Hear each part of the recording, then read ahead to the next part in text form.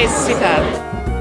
It was amazing. I thought all the actors were fantastic. I couldn't believe the leads, particularly the young ones. They were so good. Oh, it was absolutely brilliant.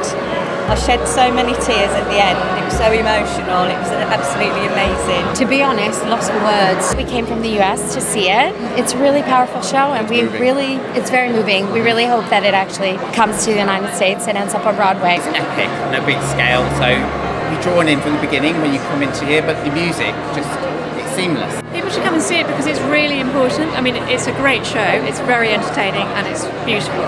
But I think it's also really important. I think the themes are really important. The show is amazing, so thrilled I've come.